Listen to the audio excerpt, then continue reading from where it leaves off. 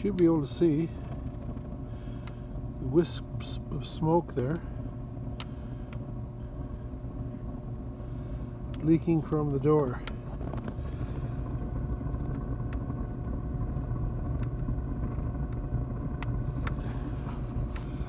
So now that is caused because my latch is too loose. See, I got a bit of a give.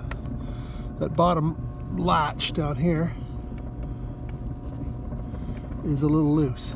Okay, so now I'm going to squeeze it.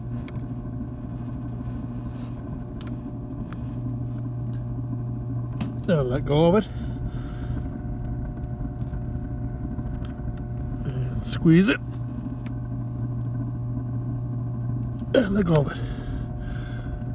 So, tomorrow I need to adjust that roller. The roller here is bolted up inside and it's in a slot.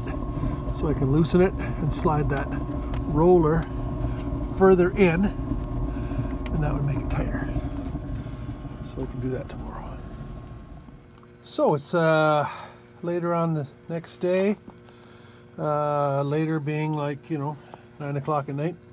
Um, this is the the bolt, the uh, locking bolt. It's just a kind of a washery, swivelly thing.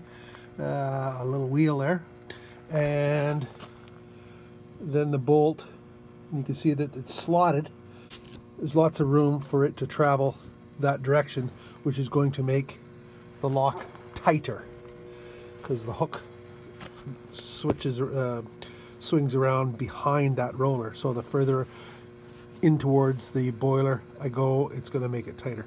So I'm going to loosen it and judging by the space I have here I know how much I can move it. I'll move it maybe uh, I'll try half the distance. So I'll close up that gap so it's half as much gap. And uh, we'll see if I can if it's too tight then I'll have to loosen it to maybe only a third. So I'll give that a whirl. Okay so you can see here's the I've loosened it now and so now it'll slide back and forth. That's full out which it wasn't quite. It was a little closer than that. I think it was about there. Um, so what I will do is I'll type tighten it let's try about there. We'll tighten that up and see if that's going to be work for us. Let's try that. You can see the fire's out which is good. I don't want all that flame and smoke and all that crap while I'm doing work so usually the best time is wait the fire's all out and she's ready for the next load.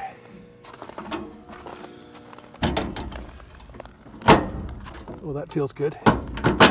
Yeah, it's got a bit of a push to it. Yeah, that snaps down good. I'm good with that. Let's try that out, see how that works. Uh, the only reason it was puffing and smoking last night is I had my propane burner on and I'll put it on again here to start the fire. Um, and because the fan blows, it's a, it's a fan and a blower that blows the propane uh, the the burner, the flame, I guess, blows the flame. Um, it's basically pressurizing the inside of here, so smoke's going, you know, 90% of it's going up the chimney, and uh, but it's pressurizing it. So if there is any leakage on the rope seal, and you can see the coloring. Um, it's all nice and white there. Then you can see right there, it starts getting black right that area here where it was leaking. Down there. This is all good. Yeah that's all good. It's all good. But black in that area there because it wasn't tight. So that's good. I'll give that a whirl. Well it's a nightly game of Tetris. Uh, it takes about three wheelbarrow loads uh, to get her full there, it's all 22 inch lengths, 36 inches wide, And the box, it's piled up about 30 inches high. Anyway, should last me the day.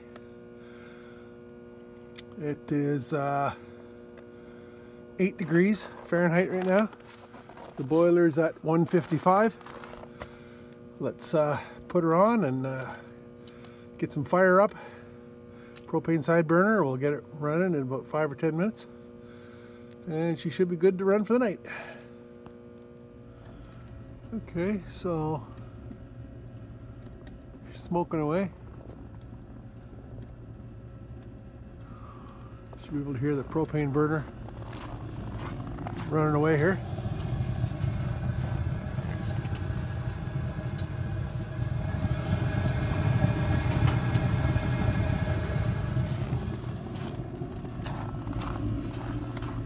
And here's where it was leaking, that door seal.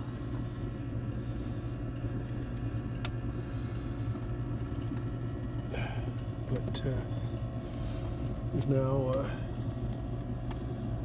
no evidence whatsoever of any leakage there now. So that's good. So just let the propane kick in to about 160. It'll shut off, the wood will be fire burning by then, and the wood will take over. Well, loaded up the boiler. Got a little trickle of smoke coming out of her. She's at 181. It's about uh, yeah, 3 degrees Fahrenheit, minus 16 Celsius. What are we down to here?